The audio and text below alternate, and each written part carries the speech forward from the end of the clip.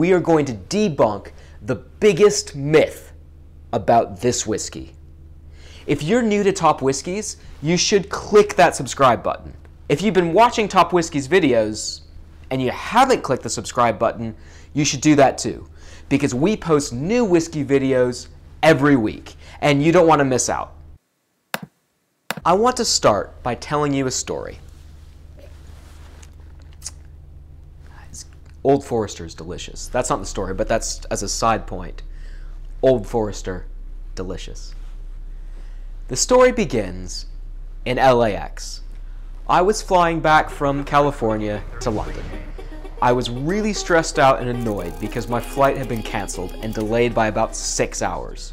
So, to make it up to me, British Airways gave me a free drinks voucher, which would help but not make up for the fact that I had six hours of my life to spend in an airport like Tom Hanks. You ever feel like you're just living in an airport?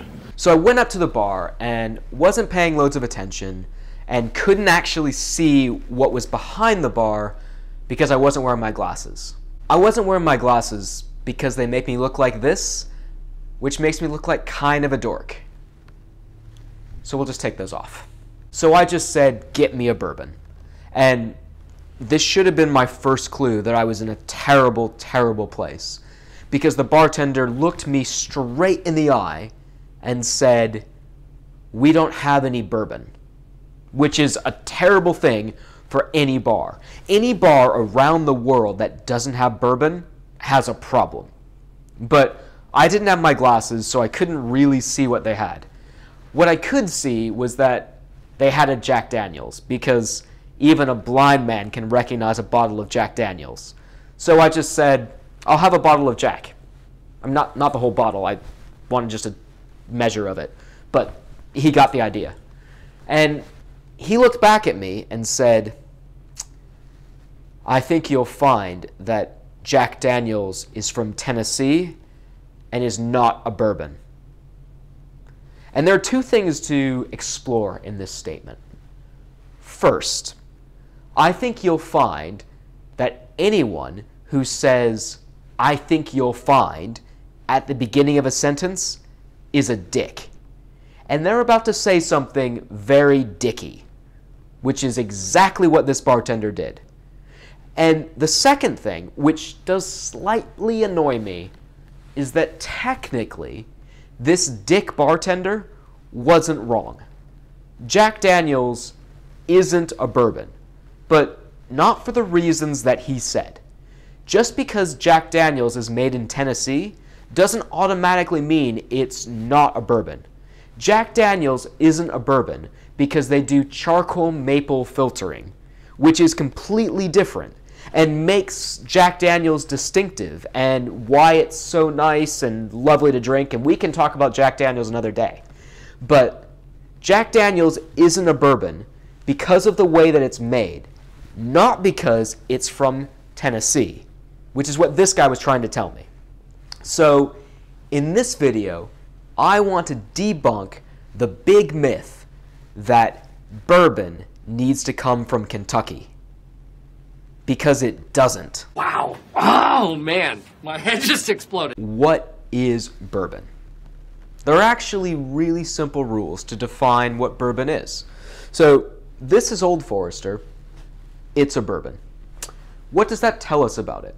Well, we know that this is 51% corn because for something to be called bourbon, it needs to be 51% corn. The other grains can be a combination of anything else. It could be malted barley, it could be rye, doesn't really matter. 51% corn.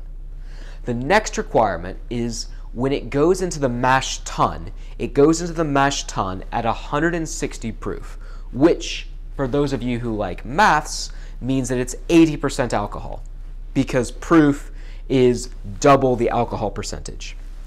The other requirement is that it's 125 proof when it goes into the barrel.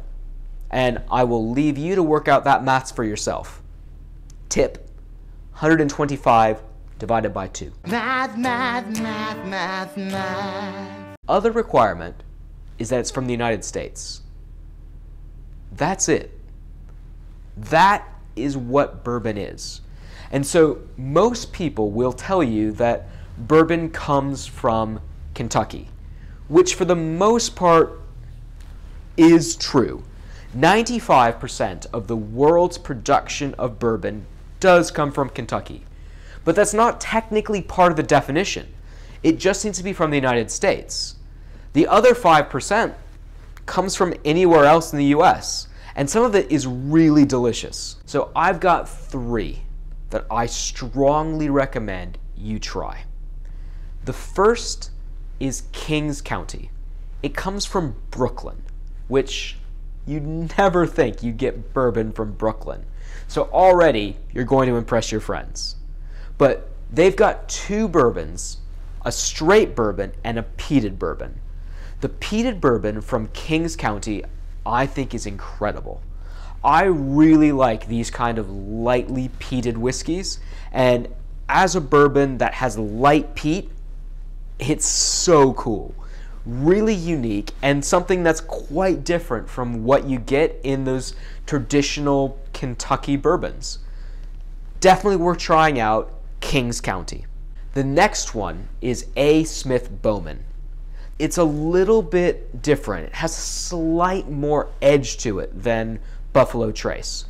A. Smith Bowman, if you're looking for something that's similar to a typical bourbon but just a bit different, that's the one to go with. The third, and this is my favorite non Kentucky bourbon, is Few. I've talked about Few before.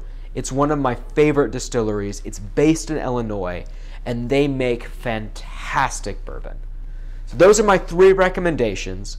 And anytime that you have a dick bartender who tells you that bourbon needs to be from Kentucky, you tell him to stuff it because he's wrong. Hope you enjoyed this video. Remember to subscribe to Top Whiskies. We post new videos every week. Thanks for watching.